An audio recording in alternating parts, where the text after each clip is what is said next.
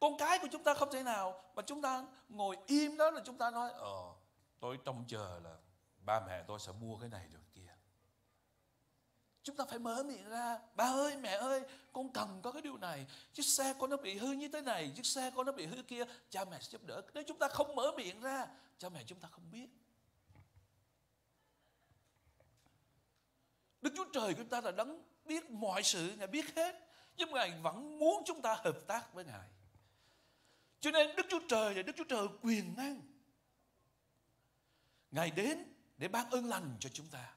Ngài đã ban ơn lành cho chúng ta nhưng mà nếu chúng ta từ chối chúng ta không nhận thì chúng ta không được gì hết. Đức Chúa Trời nói ta làm mưa cho người công bình lẫn người gian ác. Đức Chúa Trời yêu thương mọi người. Nhưng mà trong trời mưa nếu chúng ta không đem những cái tô, những cái thùng để chúng ta hứng nước mưa thì chúng ta sẽ không bao giờ chúng ta được nước mưa cả. Ngay cả chúng ta nói rằng tôi là người công bình. Mà nếu chúng ta không mở những cái thùng, mở những cái nắp, mở những cái nồi để chúng ta đựng nước mưa thì chúng ta sẽ không bao giờ được nước mưa Đức Chúa Trời ban cho. Nhưng nếu người gian ác họ nghe lời của Chúa, thấy lòng thương xót của Đức Trời và họ mở lòng ra, họ nói Chúa ơi, con cảm ơn Ngài thì họ sẽ được nước mưa. Cho nên buổi sáng hôm nay chúng ta quay lại ở trong cái căn bản của một người cơ đốc. Và tôi dùng lời của Chúa ở trong Matthew ờ, đoạn 7 từ câu 24 đến câu 31. À, ờ, câu 24 đến câu 29 để chúng ta cùng học hỏi tại nơi đây. Và trong bài giảng ở trên núi đó, Chúa Jesus Christ giảng trên núi và trong cái đoạn 7 này, Chúa cái phần cuối của đoạn 7 này Chúa nói gì? các ngươi cần phải làm theo lời của Đức Chúa Trời. Câu Kinh Thánh buổi sáng hôm nay chúng ta cùng nhau học đó là trong Matthew đoạn 7 câu 24. Vậy cái nào nghe và làm theo lời ta phán đây thì giống như một người khôn ngoan cất nhà mình trên vần đá. Who hears the word of mine? Chúa Giêsu nói lại, ai nghe lời của ta chúng ta nhìn lại từ ban đầu, đức chúa trời đã dừng nên ông adam là người đầu tiên. Và đức chúa trời đặt adam là người hướng dẫn gia đình của mình. Adam được cho là nền tảng của một gia đình, là nền tảng cho một nền văn hóa kính sợ đức chúa trời. Đó là trách nhiệm của Adam là tạo tiền đề cho mọi thứ khác được xây dựng trên cái nền đó. Và Adam đã trở nên một cái nền tảng. Và chúng ta nhìn lại cuộc đời của Adam trên một cái nền tảng, và cuối cùng Adam đã không vâng lời được Chúa Trời. Và cái nền tảng đó đã bị sụp đổ. Đáng lẽ Adam và gia đình của Adam được ở trong cái vườn thường uyển mà Đức Chúa Trời tạo dựng. Nhưng mà cuối cùng họ bị đuổi ra khỏi vườn thường uyển. Và đó là tại sao Đức Chúa Trời đặt ra một câu hỏi ở trong sáng đức ký. Adam, bạn đang ở đâu? Bởi vì cái nền tảng đã bị di chuyển rồi. Bây giờ mọi thứ khác đang bị hỗn loạn. Trong khi Đức Chúa Trời đặt một nền tảng sự kính sợ Chúa trong đời sống Adam và người được hưởng tất cả những cái điều mà Đức Chúa Trời tạo dựng trong vườn Eden. Và mỗi buổi chiều Đức Chúa Trời xuống trò chuyện với Adam. Nhưng mà khi mà Adam đã không còn đặt cái nền tảng kính sợ Chúa trong đời sống ông, trong gia đình của ông với bà Eva nữa, thì mọi thứ bây giờ trở thành một thứ đang hỗn loạn. Và không ông không còn sợ ông ông sợ hãi và ông còn muốn gặp mặt Chúa nữa ông chạy trốn. Và đó là câu hỏi mà Đức Chúa Trời đặt để với cái người mà Chúa đặt nền tảng trong gia đình người đàn ông đầu tiên của thế giới này Adam người ở đâu? Đức Chúa Trời không kêu Eva bởi vì Đức Chúa Trời tạo dựng Eva bằng cái xương sườn của Adam khi ông nằm ngủ cho nên ngày hôm nay, ngày hôm qua là một lễ cưới. Và buổi sáng hôm nay tôi dùng cái này, tôi nhắn nhủ lại cho tất cả chúng ta là những người nam giới. Nền tảng của bạn ở trong một gia đình đang ở đâu? Bạn là người như thế nào trong một gia đình mà Đức Chúa Trời đã đặt để bạn là người lãnh đạo của gia đình? Buổi sáng hôm nay chúng ta học, trong bài học này nói về nền tảng foundation. Khi chúng ta nói về một nền tảng, nói về một cái foundation, chúng ta nói đến cái nền móng của một căn nhà. Khi chúng ta đang nói về cái nền móng của căn nhà thờ này, thì chúng ta cần phải biết cái nền móng này nó mạnh nó yếu, nó được những cái cái hợp chất gì nó làm cho nó đứng vững để rồi chúng ta ở trong cái này mà chúng ta an toàn? Có bao giờ buổi sáng hôm nay chúng ta đang ngồi đây mà chúng ta sợ ồ tôi đang ngồi trên căn nhà mà không biết sụp khi nào không? Từ ngày tôi bước chân thế này chưa, chưa bao giờ có cái ý nghĩ đó. Bởi vì tôi biết cái căn nhà này rất chắc chắn. Và sáng hôm nay chúng ta muốn tập trung vào cái nền tảng trong lời của Đức Chúa Trời trong phân đoạn cái thánh Matthew đoạn 7 câu 24 đến câu 29 này. Ở tại đây đang nói về hai người đàn ông. Nhưng mà chúng ta đang tập trung vào những người nam giới. Nhưng lời của Chúa không giới hạn ở chỗ là những người nam giới thôi. Bởi vì khi Chúa Giêsu bắt đầu câu chuyện trong Matthew đoạn 7 câu 24 này Chúa áp dụng cho tất cả mọi người, không chỉ cho nam giới thôi. Cho nên Chúa nói, Who hears the word of mine Ai nghe lời của ta Nhưng mà trong cái phân đoạn cái thánh này, cho chúng ta thấy có hai người đàn ông.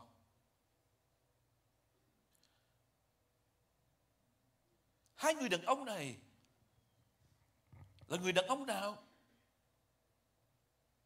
Hai người đàn ông này được Kinh Thánh liệt kê như thế nào ở trong câu 24 đến câu 29. Hai người này có một số điểm chung. Nhưng mà hai người này cũng có một số điều nó tương phản, khiến họ rất khác nhau. Và chính cái điều tương phản khiến họ rất khác nhau này đã dẫn đến những cái sự biến đổi trong cuộc đời hay là trong cái sự thay đổi cuộc sống của họ hàng ngày. Và cái điều gì đã khiến hai người đàn ông này giống nhau. Điều gì đã so sánh hai người đàn ông này để làm cho họ khác nhau? Và cái điều gì đã khiến hai người đàn ông này nằm trong một cái trang giấy trong phân đoạn Kinh Thánh Matthew đoạn 7 câu 24 đến câu 29 này? Chúng ta cùng đọc lại ở trong đây. Hai người đàn ông này là hai người đàn ông đều có một giấc mơ. Giấc mơ của hai người đàn ông này là họ đều muốn xây một căn nhà. Cả hai người đàn ông này mơ ước rằng sẽ có một căn nhà mà họ sẽ ở. Đó là họ muốn xây một căn nhà. Và chúng ta đọc lại ở trong Kinh Thánh. Một căn nhà ở trong Kinh Thánh có thể nói đến một trong bốn những thứ khác nhau.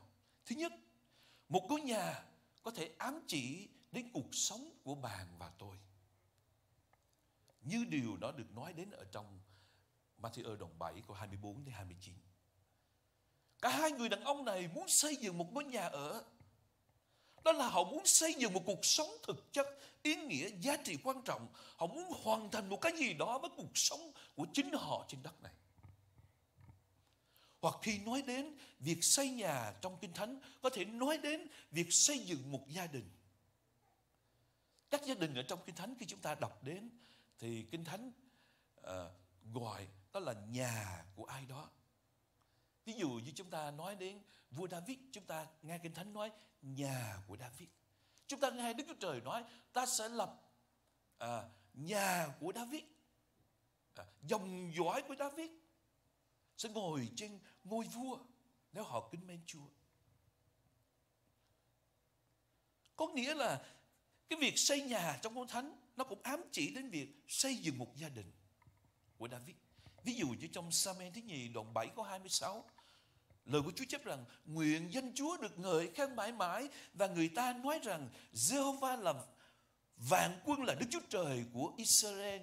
Nguyện nhà David là kẻ tôi tới Chúa được vững bền trước mặt Chúa. Khi chúng ta nói đến một căn nhà, Chúng ta cũng ám chỉ đến một cái gia đình hoặc là chúng ta nói đến việc xây nhà thì trong Kinh Thánh cũng có thể đề cập đến việc xây dựng một chức vụ. Khi chúng ta đọc lại ở trong thời cựu ước, ngôi đền ở trong thời cựu ước được gọi là nhà của Đức Chúa Trời.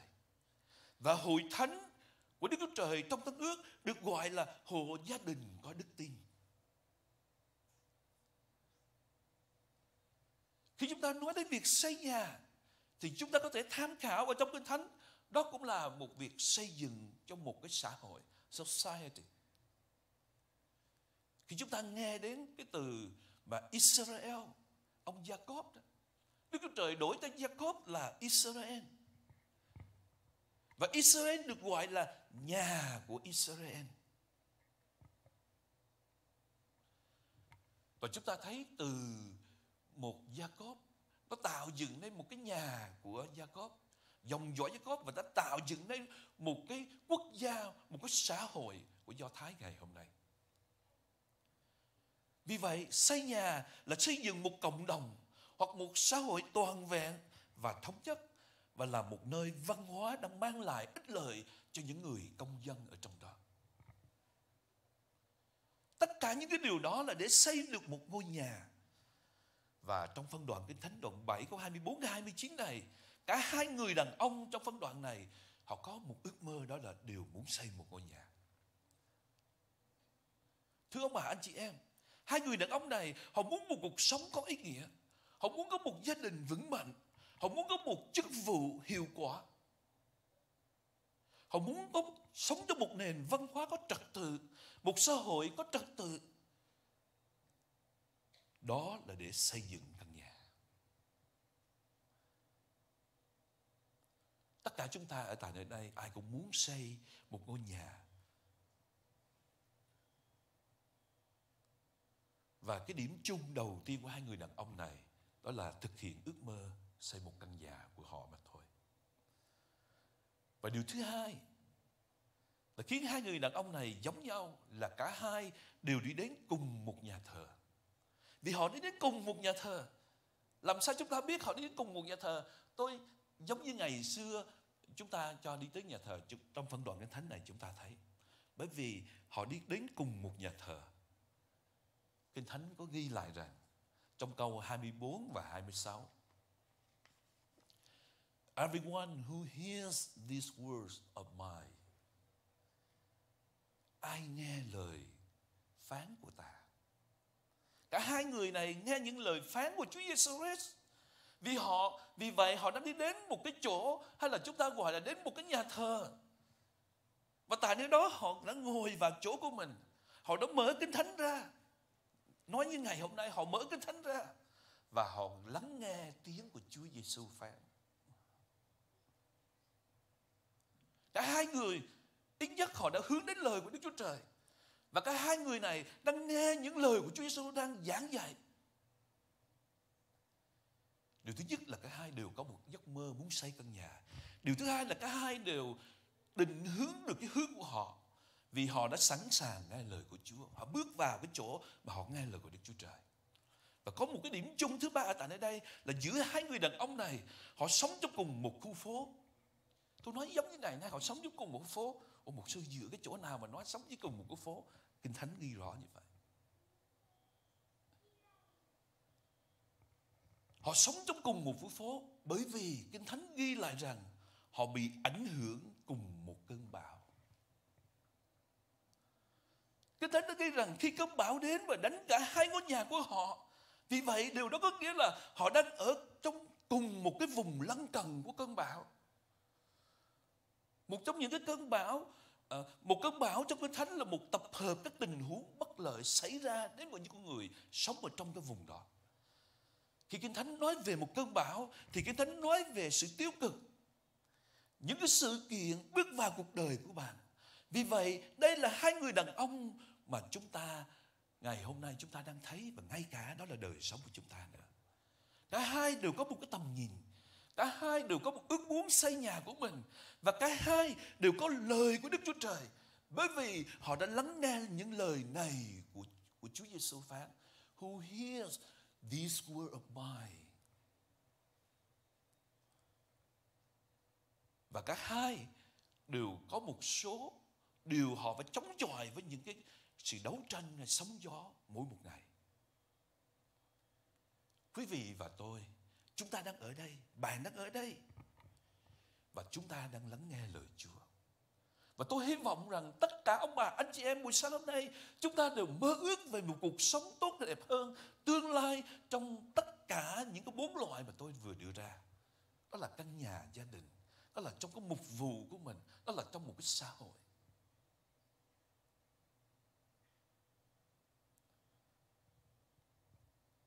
Và khi chúng ta ở trong này chúng ta nghe lời của Chúa dạy. Rồi chúng ta bước ra khỏi đây. Mỗi đời sống chúng ta sẽ gặp một cơn mưa hoặc là cơn bão. Thứ sáu vừa rồi thứ năm vừa rồi trời nắng. Họ dự định là thứ sáu với trời mưa mà chiều thứ năm vừa rồi tôi không biết phượng ờ, xuống hái blueberry sao trời đổ mưa. À. phượng với linh xuống hái blueberry trời đổ mưa mất hái chẳng được vậy hái, hái chút xíu về. Tôi nói lần sau phượng rủ không dám đi nữa. À.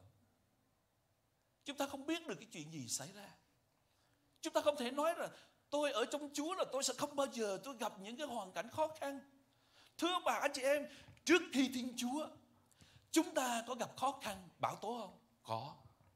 Sau khi Thiên Chúa rồi, chúng ta có còn gặp bão tố và khó khăn không? Có. Nhưng mà cái vấn đề trước khi Thiên Chúa và sau khi Thiên Chúa là cái vấn đề gì để chúng ta giải quyết được cơn bão tố và khó khăn đó? Đây là lời của Chúa dạy ở trong này. Cả hai người đều nghe lời của Đức Chúa Trời. Cả hai người đều có một cái định hướng là tôi muốn xây một căn nhà mới và tôi muốn cuộc đời của tôi được sống sung mãn trong một gia đình, à, trong một xã hội, trong một cái sự phục vụ nhà Đức Chúa Trời. Trong những cái điều mà mọi người đều ước muốn. Nhưng mà là hai con người nó đến hai cái phương cách khác nhau. Chỉ vì một cái suy nghĩ, bởi vì họ có một cái nền tảng khác nhau thôi.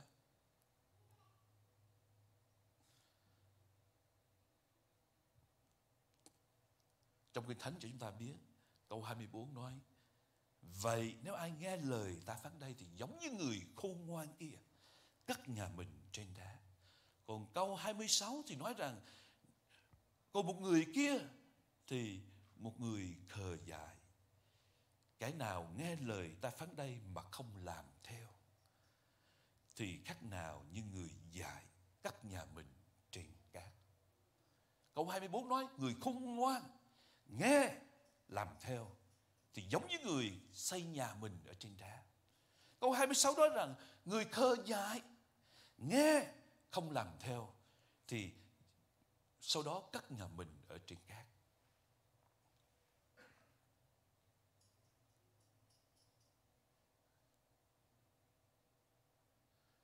Người khôn ngoan có thể gặp bão. Người khơ dại cũng có thể gặp bão.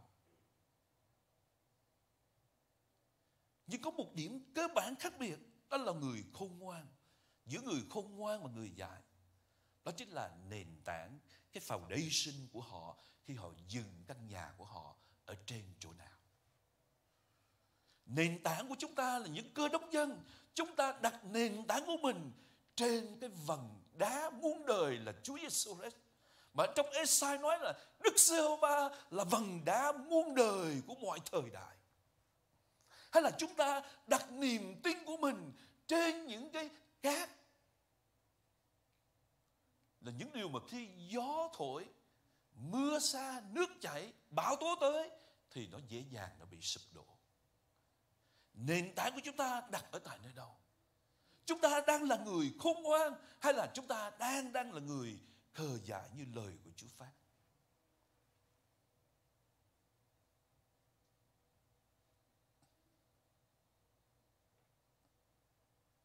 Nếu bạn xây dựng nhà của mình trên cát, thì nó rất là nhanh, thưa bà chị em. Không mất nhiều thời gian để xếp cát và xây một cái lâu đài cát với nhau ở trên một cái bãi biển. Nhưng mà nếu bạn muốn xây dựng trên đá, thì bạn phải mất một khoảng thời gian khá lâu. Nếu bạn xây dựng nhà trên cát thì rất dễ dàng. Nhưng mà nếu bạn muốn xây dựng nhà trên đá thì nó sẽ rất khó khăn. Nếu bạn xây dựng nhà ở trên cát thì nó sẽ rẻ. Giá nó sẽ rẻ. Không tốn cái nhiều chi phí để dồn các lại với nhau. Nhưng mà bạn phải trả cái giá nếu bạn xây dựng trên đá. Chúng ta thấy đấy, khi một người đàn ông đã sẵn sàng đặt nền móng nhà của mình vào vằn đá, thì nó sẽ giúp cho cái nền móng nhà nó vững chắc và căn nhà đặt trên nó nó vững chắc cái foundation của nó được vững chắc. Còn người đàn ông kia không bận tâm đến những cái vật liệu gì cần thiết để làm cho cái cái nền móng nhà của anh ấy được vững chắc. Anh ấy chỉ cần là một ngôi nhà được rồi. Cho nên chút vấn đề của chúng ta nhìn tại ở đây. Không phải là chúng ta không phải là vấn đề là căn nhà. Nhưng vấn đề ở đây là cái nền móng của căn nhà cái foundation của cái home đó như thế nào. Điều đó rất là quan trọng. Nếu bạn đến bất cứ một cái thành phố nào tôi nhớ uh, những ờ, những năm trước uh, sau cái vụ sự kiện mà uh, 9/11 2001 đó những cái terrorist nó giật đập phá hai cái tòa nhà đôi ở tại bên New York á, thì sau đó tôi năm à, 2007 tôi có qua đó tôi thăm. Tôi thăm thì tới cái vùng đó thì tôi thấy họ bắt đầu họ giật sập hết và họ xây dựng lại à, một cái tòa thật là cao lên. Và họ bao bọc hết. Và khi và đi vào đó nhìn thấy chúng ta mới nhìn thấy chưa thấy cái tòa nhà nó cao bao nhiêu, nhưng mà nhìn thấy cái foundation, cái nền móng nhà mà họ chuẩn bị xây là chúng ta biết cái nhà đó nó sẽ cao tới mức độ nào.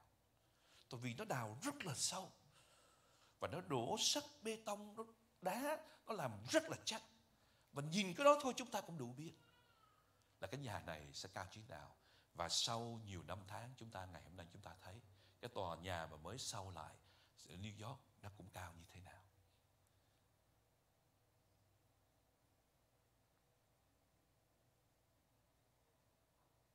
Chúng ta không thể nào xây một căn nhà thật to lớn trên một cái chuồng gà của mình được. Bởi vì cái chuồng gà không xử lý được một cái tòa nhà chọc trời được, thưa bạn chị em. Hay là nói một cách khác, cái nền móng nhà của bạn, cái nền tảng của bạn, đức tin của bạn, cái foundation của bạn phải xứng đáng với tòa nhà mà bạn định đặt lên trên nó bạn không thể có một tòa nhà lớn trên một nền tảng nhỏ bạn không thể nói với Chúa Giêsu Đức rằng Chúa ơi hãy sử dụng đời sống của con làm việc vĩ đại cho Chúa đi. Nhưng nền tảng đức tin nơi Chúa Giêsu Đức là không có một gì hết. Tòa nhà của bạn và tôi phải xứng đáng với nền tảng mà bạn muốn đặt trên nó. Và nền tảng đó phải xứng đáng với tòa nhà đó. Cuộc sống của mỗi chúng ta, điều mà mỗi người chúng ta đều muốn nảy sinh từ mặt đất, nó đến từ nơi cái nền móng nhà chúng ta đã đặt. Cuộc sống của chúng ta, cái sự sống phước hạnh chúng ta muốn nảy sinh từ cái niềm tin của chúng ta đặt nơi Chúa Giêsu Christ. Nó đến từ cái nền tảng đức tin của chúng ta đặt nơi vầng đá muôn đời là Chúa Giêsu Christ như thế nào thì chúng ta sẽ thấy đời sống chúng ta nó nảy sinh sự phước hạnh ra sao.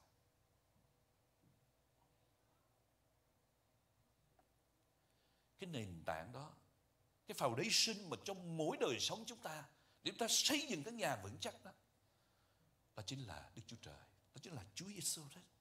cái thánh cho chúng ta biết Chúa Giêsu Christ hôm qua, ngày nay đến đời đời không hề thay đổi. Ngài là cái vầng đá muôn đời của mọi thời đại. Ngài là hòn đá gốc nhà. Chúa Giêsu đấy là cái tiêu chuẩn ở người Do Thái khi họ xây dựng cái nhà họ có một cái hòn đá góc nhà để họ làm tiêu chuẩn cho căn nhà của họ để họ xây theo. Và đời sống của chúng ta khi chúng ta bước đi theo Chúa Giêsu đấy cái nền tảng và cái tiêu chuẩn cho chúng ta đặt cái nền móng đó là nơi Chúa Giêsu đấy Chúng ta dựa trên Chúa Giêsu đấy chúng ta dựa trên lời của Đức Chúa Trời, chúng ta làm theo. Bất cứ một người nào muốn xây nhà đều phải có theo cái quy trình hướng dẫn cái instruction, cái lời phải chúng ta phải làm cái nền móng như thế nào. Đó là lý do tại sao Chúa Giêsu Christ nói ở trong Matthew đồng 7 có 24 29 rằng, người nào nghe lời ta phán mà làm theo thì sẽ giống như người khôn ngoan xây nhà mình trên đá. Có nước chảy, mưa xây mưa ra gió lay, số động nhảy thì sẽ chẳng bao giờ bị bị sập. Bởi vì nhà xây trên vần đá là Chúa Giêsu Christ con cái nào nghe lời ta phán mà không làm theo thì giống như người dạy xây nhà mình trên cát. Nước chảy, gió lay sôi động. Khi bão tố đến thì nhà sẽ sụp bởi vì họ xây dựng cái nền tảng cái foundation của căn nhà đức tin của họ trên cát chứ không phải nơi Chúa sau đây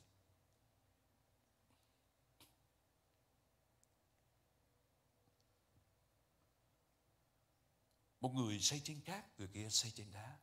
Sự khác biệt của hai người này là gì? Cả hai người đều nghe lời của Chúa Giêsu đấy, Nhưng mà người này đã hành động và làm theo lời của Chúa. Còn người kia nghe mà không làm theo lời của Chúa, làm theo ý riêng của mình. Nếu bạn muốn xây một cuộc sống, nếu bạn muốn xây một ngôi nhà, nếu bạn muốn xây một mục vụ để phục vụ Đức Chúa Trời và vương quốc của Ngài, hay bạn muốn xây một xã hội, thì ngôi nhà đó phải được xây trên một nền tảng đúng đắn. Và nền tảng đó không chỉ đơn thuần chỉ là một cái thông tin để chúng ta nói thôi. Nhưng mà nền tảng đó phải dựa trên chính Chúa Giêsu Christ, phải dựa trên chính lời của Ngài dạy dỗ chúng ta. Sự khác biệt giữa người khôn ngoan và người khờ khạo không dựa trên cái học thức đến mức độ nào mà họ đã gạt được ở trong cái thế giới ngày hôm nay. Cái việc khôn ngoan với học thức không liên quan gì đến việc họ đã tốt nghiệp trung học, có bằng cử nhân, có bằng thạc sĩ, có bằng tiến sĩ. Nó không liên quan gì đến trình độ học vấn của bạn. Tất cả những mọi người chúng ta đều biết. Những người khờ dại, họ cũng có học thức. Giáo dục không nhất thiết phải ban cho bạn sự khôn ngoan, thưa bà chị em. Tôi nói cái sự khôn ngoan đây là sự khôn ngoan dựa theo tuy chuẩn của Đức Chúa Trời chứ không phải dựa theo sự khôn ngoan của đời này. Bởi vì sự khôn ngoan của đời này mà trong câu đơn thứ nhất đó, Đức Chúa Trời nói ta dùng cái sự khờ dại của các con ở trong Chúa để làm hổ thẹn sự khôn ngoan của đời này. Cái sự khôn ngoan của đời này trước mặt Đức Trời là vô nghĩa.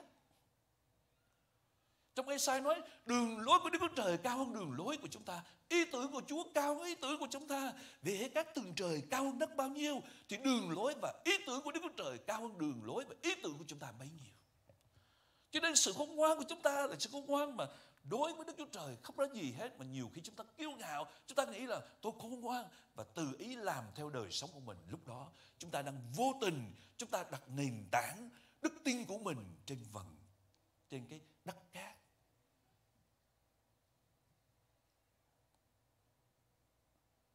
Sự khác biệt của người khôn ngoan và người khờ dại đó là họ sẵn sàng hoặc không sẵn sàng hành động theo những gì Chúa Giêsu Christ đã dạy. Hay nói một cách khác, khi lời của Chúa được áp dụng vào trong mỗi đời sống của chúng ta thì lời Chúa mới kích hoạt, mới hoạt động được ông bà chị Lời của Đức Chúa Trời không hoạt động chỉ vì bạn nghe nó được rao giảng trong nhà thờ, trên Facebook, trên radio, trên YouTube. Lời Chúa không hoạt động chỉ vì bạn hào hứng với những gì bạn nghe hoặc đọc. Lời Chúa không làm việc chỉ vì bạn đã nói amen với những gì đã nói. Lời Đức Chúa Trời không hoạt động chỉ vì bạn vẫy tay và không cần để nó. Nhưng lời Đức Chúa Trời chỉ được kích hoạt để hoạt động khi nó được chính bạn và tôi áp dụng lời của Chúa trên đời sống của mình mỗi ngày.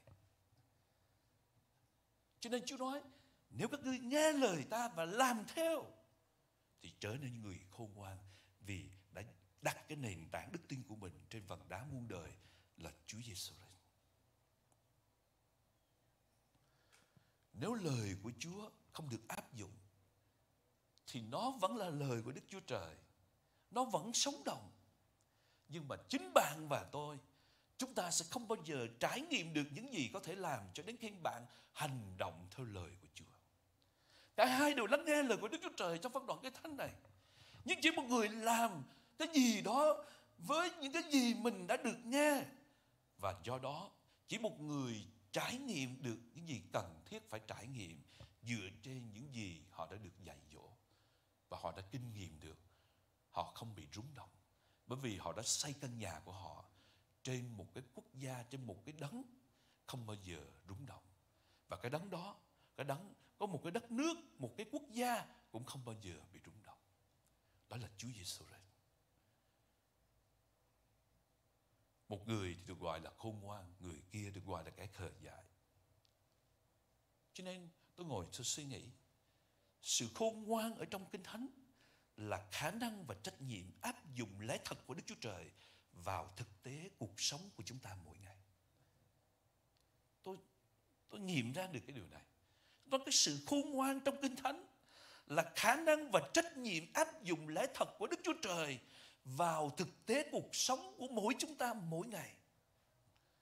Nó là trách nhiệm gắn liền với khả năng để áp dụng chân lý thuộc linh và những quyết định trong đời sống của chúng ta. Khi chúng ta đọc lại trong sách trong ngôn, chúng ta thấy Kinh Thánh nhắc nhiều điều về những người dại khờ trong Kinh Thánh trong toàn bộ sách trong ngôn. Và sách trong ngôn đã phân biệt được người khôn và kẻ ngu.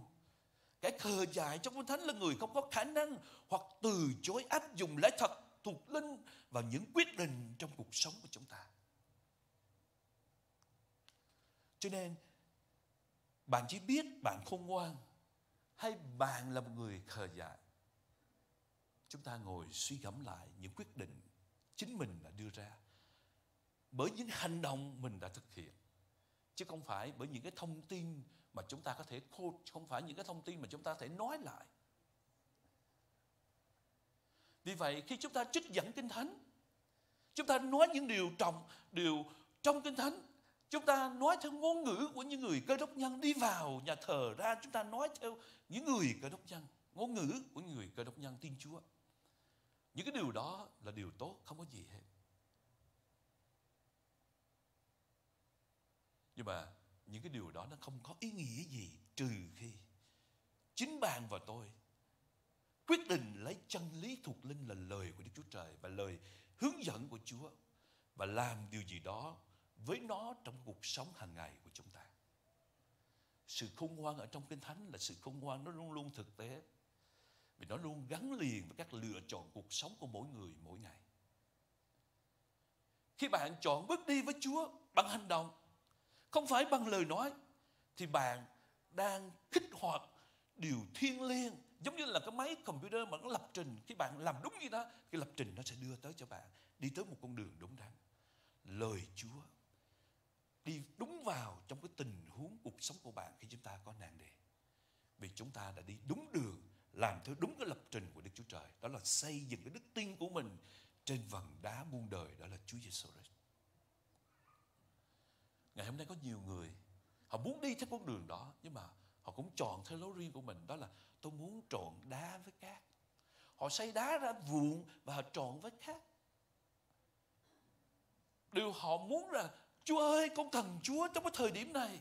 Con cần Chúa là vần đá muôn đời nhưng mà con còn có cách riêng của con nữa con còn có muốn làm một cái điều gì đó trộn vào trong cái ý muốn của Đức Chúa Trời nữa con còn muốn lấy cát của con Thưa bà anh chị em, những cái điều gì mà chúng ta muốn, những cái điều gì suy nghĩ của chúng ta mà ngược lại với lời của Đức Chúa Trời, đó là cát. Chúng ta không thể nào kết hợp cả hai được. Tôi dẫn chứng kinh thánh cho ông bà chị em. Khi chúng ta kết hợp đá là Chúa Giêsu Christ vần đá ý muốn của Đức Chúa Trời và cát là ý muốn của con người hợp lại với nhau thì chúng ta sẽ không bao giờ đứng vững được hết. Bởi vì lúc đó chúng ta loại bỏ lời của Đức Chúa Trời. Nếu chúng ta có thánh chúng ta lật ra ở trong Matthew đoạn 15 câu 6 chúng ta sẽ thấy được.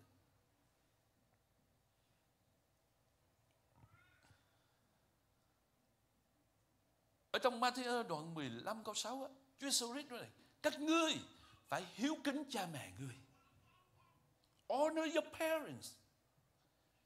Nhưng mà những người nhà thông thái và những người khác họ lập luận lại Họ nói các ngươi phải chăm sóc cho cha mẹ ngươi phải hiếu kính cho cha mẹ ngươi nhưng mà những cái người mà họ đi theo cái ý riêng của họ mặc dù họ thuộc kinh thánh họ biết kinh thánh họ nói về kinh thánh nhưng mà họ nói với những người khác họ nói gì nếu chúng tôi đem những cái của đó chúng tôi dâng cho Chúa rồi. Thì chúng tôi không cần phải làm hiếu kính cha mẹ và chăm sóc cha mẹ nữa.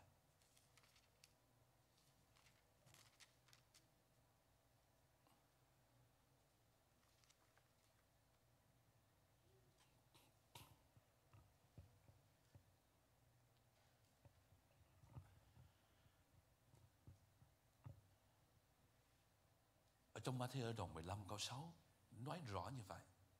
Các ngươi đã loại bỏ lời của Đức Chúa Trời bằng truyền thống của bạn.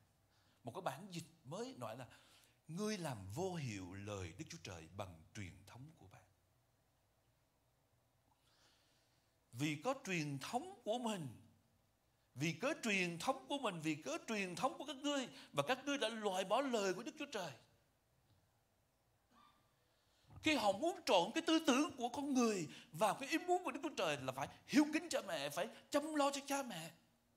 Nhưng mà họ nói, Chúa ơi, cái điều chăm lo cho mẹ con bỏ qua bên bởi vì con đã lấy những cái điều đó con dâng hiến cho Chúa con làm công việc của Chúa rồi cho nên con không cần chăm sóc cha mẹ nữa.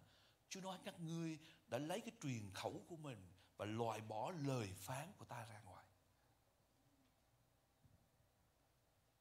Đó là cát. Đó là muốn trộn cát với đá xây đá của Đức Chúa Trời trong vụ để trộn với mình để làm theo ý muốn của mình chứ không phải ý muốn của Đức Chúa Trời cho nên trong Samuel thứ nhì đoạn 15 câu 22 ông Samuel đã nói rằng sự vâng lời tốt hơn của tế lễ sự nghe theo tốt hơn mở chiên đực Chúng ta làm theo lời của Đức Chúa Trời, vâng theo lời Đức Chúa Trời, chứ đừng làm theo cái hình thức bên ngoài vô nghĩa với Chúa. Bởi vì loài người nhìn bên ngoài, nhưng Đức Chúa Trời nhìn thấy trong lòng của mỗi chúng ta. Vì vậy một khi bạn mang quan điểm của con người và gắn bó với Chúa, thì nó mâu thuẫn với quan điểm của Đức Chúa Trời. Và Kinh Thánh cho biết rằng trong Matthew đoạn 15 câu 6 nói rằng bạn đã loại bỏ lời của Đức Chúa Trời. Và khi một người đã loại bỏ lời của Đức Chúa Trời, thì giống như người khờ dại ở trong Matthew đoạn 7 câu 26. Người nghe lời ta phán không làm theo, thì giống như người khờ dại xây cái nền tảng của mình trên cát là nơi mưa, nước chảy, gió lay sôi động nhà ấy sẽ bị sập. Bởi vì loại bỏ nền tảng lời của Đức Chúa Trời ra khỏi cuộc đời của họ.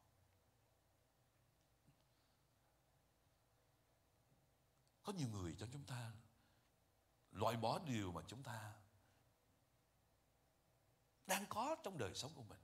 Chúng ta đã nghe lời Chúa và nhiều khi vì cái uống ý muốn của mình có muốn đầy quá thôi. Chúa ơi, Chúa đứng qua bên để cho con ra khoảng 5 phút thôi. Con làm theo ý muốn con rồi con sẽ trở lại làm ý muốn Chúa. Mà 5 phút nó không biết đi tới mức độ nào đi. Rốt cuộc không có con đường quay trở lại với Chúa nữa. Giống như có một ông mục sư chuyện này có thật.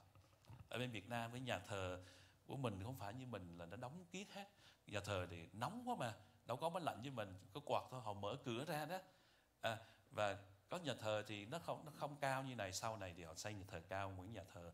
Lúc xưa ở miền quê hay là những thành phố thì thấp. Cho nên nhà thờ mở cửa ra nhóm hoặc là cầu nguyện đó thì những cái đứa con nít cái làng xóm họ đi ngang qua họ nhìn vô ồ sao ở trong này hát hay là cái gì? Họ đứng bên cửa sổ họ thò đầu vô họ nghe được. Họ nghe giảng là nghe hát hay là nghe lời cầu nguyện. Thì cái ông mục sư đó ông ngồi ông ngồi trong nhà thờ, ông cầu nguyện. Ô, khi ông cầu nguyện ông khóc lóc với Chúa vì có cái chuyện gì đó. Ông khóc lóc rồi, xong rồi mọi người xung quanh khóc lóc. Có mấy nhỏ hàng xóm đó. Cái câu chuyện có thiệt á. Mấy nhỏ hàng xóm ra, kêu, ê, tụi bay ơi, tụi bay ơi, tớ quay này, mấy người nên không bình thường thì nhiên vô đây quỳ xuống ngồi khóc lu ble vậy đó. Ồ, cái ông mục sư này, ông ngồi ông bực quá. Ông nói chứ ông hồi đó chưa mục sư, ông là thầy truyền đạo thôi. Ông nói chú chú ơi ông tức quá tại vì ông ngồi sát bên cửa sổ, ông đứng bên cửa sổ nói, ê tụi bay quá mấy và nó nhóc nhóc nhóc vậy đấy. Ông kêu, chúa cũng bực quá. Ông đi ra, ông đi ra cửa, ông tới, ông gặp chúa, ra còn khoảng 5 phút thôi. Ông bập bập bập. Tụi bay nói ai là cờ dại.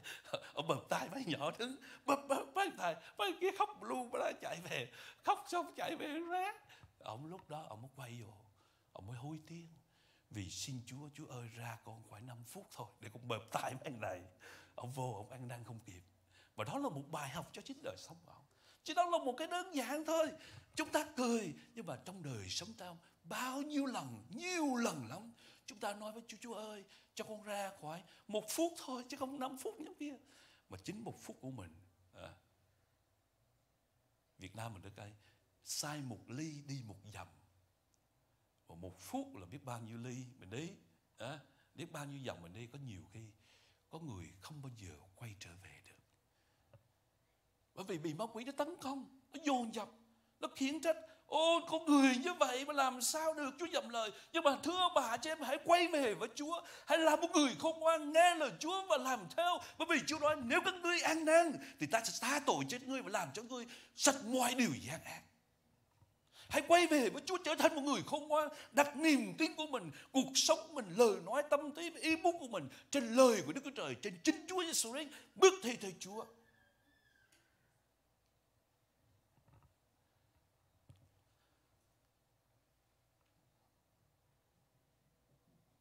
Đức Chúa Trời không bao giờ nói dối cả. Ở trong dân sách ký đoạn 23 câu 19, Đức Chúa Trời chẳng phải là loài người để nói dối. Cho nên đời sống của chúng ta, khi chúng ta là một người có hai lòng, không kiên định trong mọi đường lối của mình, Đức Chúa Trời sẽ hủy bỏ toàn bộ mọi thứ. Và vì vậy, nhiều khi đời sống chúng ta, chúng ta đi hai hai lòng với Chúa. Cho nên lời cầu nguyện chúng ta không có kiên định, vì vậy không bao giờ được nhầm lời.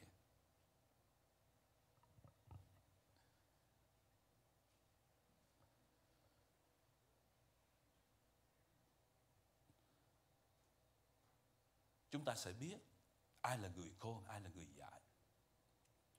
Chúng ta không thể nào chúng ta tới gặp ông A này chúng ta nói anh là dại. Gặp chị B này, chị là người khôn. Chúng ta không thể nhìn thấy được. Tại vì loài người nhìn bên ngoài, nhưng Chúa Trời nhìn thấy trong lòng. Chúng ta không đoán xét họ. Chúng ta không đoán xét là người đó dạy người này khôn.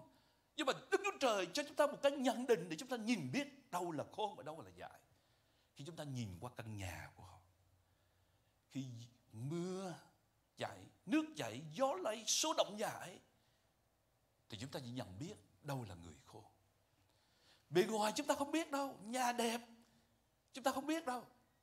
Nhiều khi chúng ta nhìn cái nhà này bề ngoài nó cũ kỹ, cái nhà kia nó mới, chúng ta nhà này là là tốt, không biết đâu. Cho đến khi bão nó tới, cho đến khi mưa nó xa xuống cho đến khi nước nó chảy, cho đến khi gió nó số động nhà ấy, thì chúng ta mới biết được người căn nhà nào là cái người xây nhà đó là người khôn ngoan.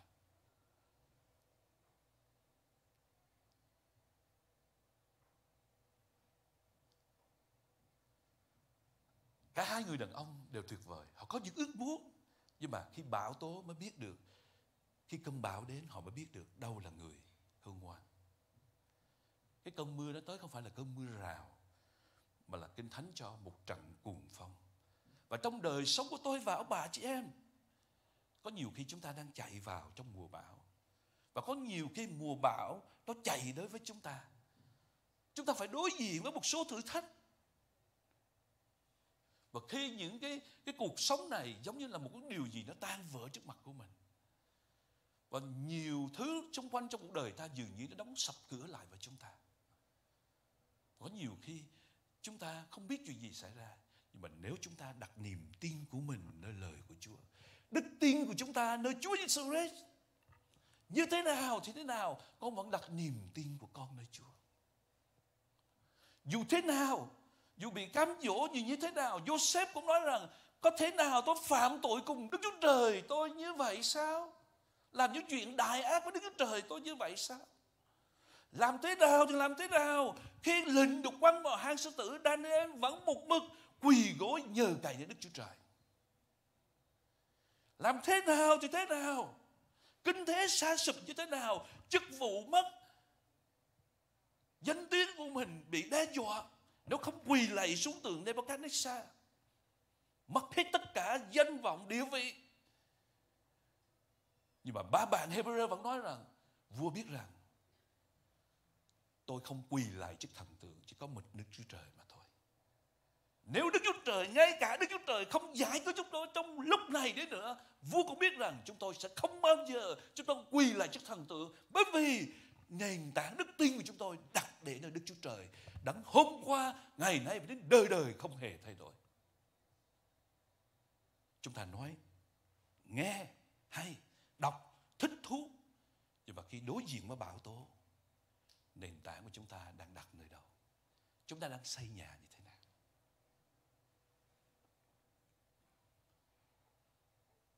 Có nhiều người muốn chúa ở cùng với mình trong cơn bão. Nhưng mà khi xây nhà thì xây nhà trên cát khi bão tới chúng ta xây nhà chúng ta biết, hoặc là xây nhà hoặc không xây nhà chúng ta đều biết. Khi bão tới, chúng ta không thể xây cái nền móng nhà ngay lúc bão được một là chúng ta xây nền móng nhà trước cơn bão, hoặc là sau cơn bão chúng ta sửa lại cái nền móng nhà.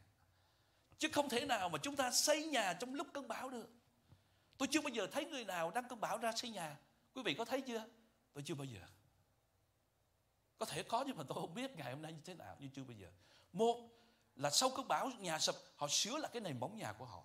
Hai là trước khi cơn bão đến, họ xây cái nền móng nhà cho vững chắc để nhà không bị sập chứ không có ai ở trong cơn bão mà ô chú ơi bây giờ con xây này móng nhà. Điều đó cho chúng ta thấy được. Chúng ta không đặt niềm tin của mình ở Đức Chúa Trời thì trong cơn bão chúng ta kêu cầu Chúa làm sao Chúa nghe? Chúng ta loại bỏ Chúa ra một bên chúng ta coi Chúa là một ông thần phù hộ vậy đó. Khi mà chúng ta gặp may mắn chúng ta gặp được thông à, hanh thông thì chúng ta cảm ơn Chúa. Và khi chuyện và cái chuyện gì mà chúng ta uh, mà mà không được là chúng ta ồ Chúa phải giúp đỡ con mà mình đi làm ngược lời của Chúa hết mình Chúa làm sao Chúa giúp đỡ Chúa là Đức Chúa Trời công bình Ngài không thể nào mà giúp đỡ những kẻ không những kẻ mà loại bỏ Đức Chúa Trời ra làm những điều sai trật mà không biết ăn năn quay về với Chúa. Chúa thương.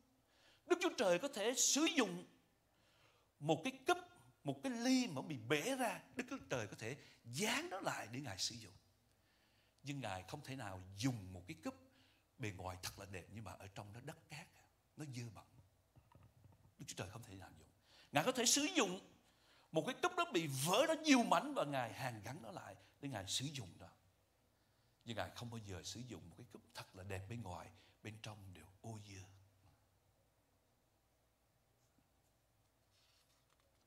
Cho nên ông bà anh chị em buổi sáng hôm nay tôi dùng lời của Đức Chúa Trời ở trong phần đoạn Kinh Thánh này để nhắn nhủ cho ông bà anh chị em và tôi. Chúng ta đi với Chúa. Những ngày cuối cùng rồi. Chúng ta thấy những lời của Đức Chúa Trời đã nói, nó đang xảy ra. Những điều cuối cùng chúng ta xảy ra những cái điều này. Chúng ta thấy con người nó nghịch lên, nó phản thầy, phản bạn, nó nghịch lên, nó phản những cái người chung quanh, cướp bóc, giết người, đói kém, bệnh tật xảy ra. Dịch lệ, đồng đất, núi lửa. California trong tuần vừa rồi, lần đầu tiên bao nhiêu thập niên bây giờ có những cơn gió lốc, sấm sét đánh, lửa cháy, bây giờ thiệt hại không biết bao nhiêu như thế ở phía bắc California, gần San Francisco và và cái đường đi xuống San Jose, còn dưới dưới nam thì chưa. Bao nhiêu nhà, bao nhiêu người đang ở tại bên Trung Quốc ngập lụt đói kém, bệnh tật. Hiện tại bây giờ Covid-19 đang hoành hành làm cho mọi người sợ hãi nhưng mà nếu chúng ta có đức tin của mình đặt để trên vầng đá muôn đời là Chúa Giêsu Christ đấng mà Hebrew nói là Đức Chúa Giêsu Christ hôm qua, ngày nay và đến đời đời không hề thay đổi. Ngài không bao giờ thay đổi. Bạn là người như thế nào? Bạn là người đang chọn hướng nào? Người khôn ngoan hay là người khờ dại? Bạn là người khôn ngoan hay là một cái khờ dại trước mặt của Chúa bạn là người đàn ông có trách nhiệm hoặc là người đàn ông không trách nhiệm bạn là một con dân của Chúa có trách nhiệm hay là một con dân Chúa không có trách nhiệm? Bạn là một cái bại trận hay là bạn là một kẻ thắng trận? Bạn là người như thế nào? Chúa Giêsu Christ cho chúng ta hai lựa chọn.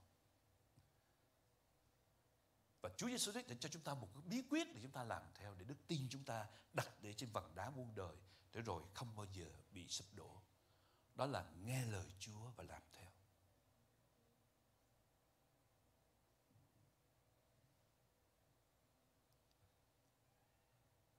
Thế giới của chúng ta ngày hôm nay cần có những con người Cần có người nam, người nữ của Đức Chúa Trời Có trách nhiệm làm tốt hơn Có trách nhiệm xây dựng mọi thứ để xây dựng gia đình của mình Để xây dựng vương quốc của Đức Chúa Trời để xây dựng nhà thờ, để xây dựng xã hội, làm cho nó mạnh hơn và sôi động hơn. Và chỉ có một loại người có thể làm điều đó. Đó là người khôn ngoan trước mặt Đức Chúa Trời. Nghe lời Chúa và làm theo. Ông bà, anh chị em ơi, chính đời sống của tôi nữa. Xin lời của Chúa đến. Để Chúa Giêsu Christ cho chúng ta biết. Chúng ta là người khôn ngoan như thế nào ở trước mặt để Ngài sử dụng đời sống của chúng ta, làm công việc cho Đức Chúa Trời. Đừng để cho chúng ta trở thành những kẻ khờ dại. Đừng để chúng ta trở thành những kẻ mà thế giới này tung hô. Nhưng mà đêm hôm chính Chúa đấy nói như trong Luca đoạn 12 hỡi kẻ dài kia.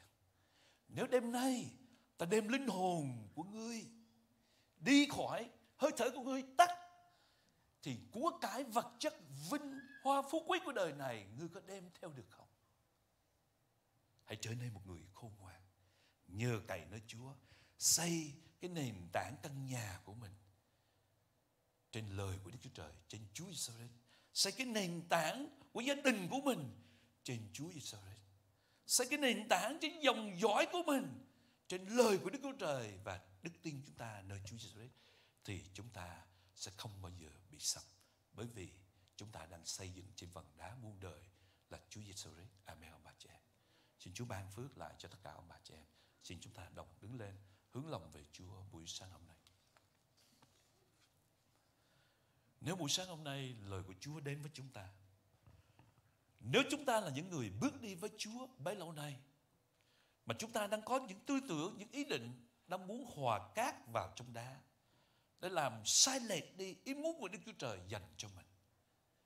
Thì đây là thời điểm chúng ta chạy đến nói với Chúa Chúa ơi, Xin thay đổi tư tưởng của con, Giúp đỡ con quay về lại với nền tảng là lời của Đức Chúa Trời, Giúp con quay về nhờ cậy nơi Chúa Giêsu Christ là đấng hôm qua đến đời đời không hề thay đổi. Để con sẽ không bao giờ bị sập, Cho dù có nước chảy, gió lay sôi động, Nhà của con Đức tin của chúng con cũng không bao giờ lay chuyển được. Vì có Chúa ở trong đời con. Có Ngài là có thiên đàng. Nếu quý vị nào muốn mời Chúa vào trong đời sống của mình, Để đời sống chúng ta không bị sụp đổ, Chúng ta có thể có tiền, Chúng ta có thể danh vọng, Chúng ta có thể trở thành triệu phú, tỷ phú. Nhưng mà nếu mất Chúa Giêsu hết Thì bạn có ích gì? Cho nên nếu bạn Buổi sáng hôm nay Nói trước mặt của Chúa bởi vì thế gian này, Những người khác họ chỉ cho chúng ta là những người khờ dại. Vì chúng ta đặt để mình nơi Đức Chúa Trời. Nhưng mà Đức Chúa Trời nói, ta dùng cái sự khờ dại của con, Cái nền tảng của con Nó lời của Chúa, làm theo lời của Chúa Và nương cậy nơi Chúa. Ta sẽ khiến con trở thành một kẻ mà làm cho những sự khôn ngoan của đời này, họ sẽ bị hổ thẹn. Nếu chúng ta muốn tin nhận Chúa, hãy nói với Chúa con muốn tin nhận Ngài raise your hand, giơ tay quý vị thôi đây là một quyết định quan trọng để nó khiến ta, chúng ta được đứng trước mặt Chúa và Ngài phán bảo chúng ta là khôn ngoan con người cái chúng ta khôn ngoan chưa chắc là khôn ngoan trước mặt Chúa nhưng ai làm theo lời Đức Chúa Trời là những người được khôn ngoan. Phước hạnh và sự thương xót của Chúa theo đuổi những người đó. Cho nên ông bà chị em hãy đến với Chúa. Sau giờ này nếu quý vị muốn đến làm quyết định đặt niềm tin của mình ở Chúa, tôi sẽ ở đây, các vị mục sư ở đây sẽ cầu nguyện cho quý vị. Xin chúng ta đến với Chúa. Thưa Chúa của con, bài học buổi sáng hôm nay xin Ngài dạy dỗ cho tất cả chúng con. Cho dù đó là chúng con là những người hầu về Chúa, những người mục sư có những mục vụ, hay là chúng con đi theo Chúa bao nhiêu năm, chúng con sinh ra một gia đình biết Chúa như thế nào. Nhưng mà buổi sáng hôm nay xin lời của Ngài dạy cho chúng con nhớ được sự khôn ngoan không phải đến từ học thức bằng cấp của trên đời này, nhưng vì sự khôn ngoan, đó là đặt đức tin của mình, nền tảng của đức tin của mình, nơi Chúa Giêsu Christ làm theo lời của Ngài. Để rồi cái sự khôn ngoan cuối cùng mà cái thánh nói, cái giàu và người nghèo, cả hai đều sẽ giống như nhau, họ sẽ đối diện với sự chết.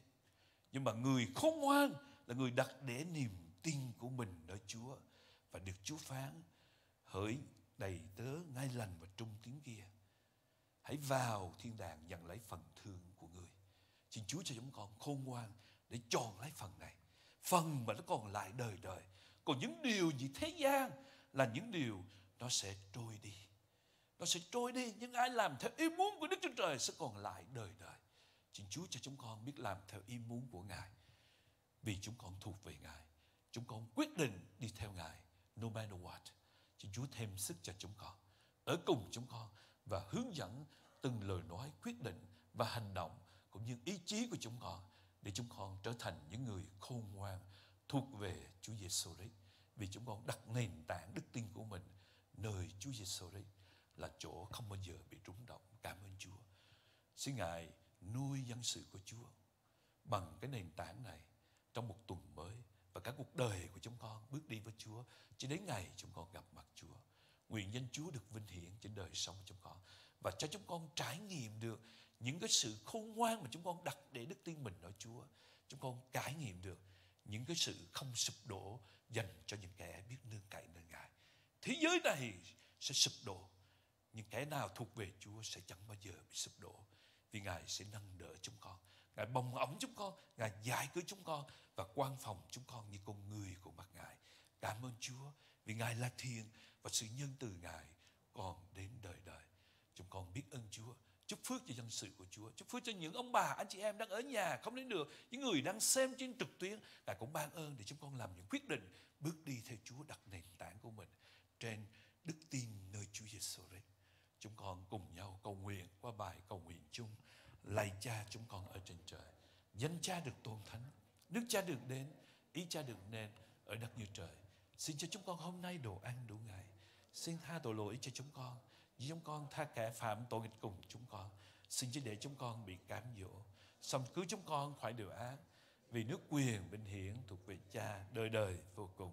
Amen. Nguyện xin tình yêu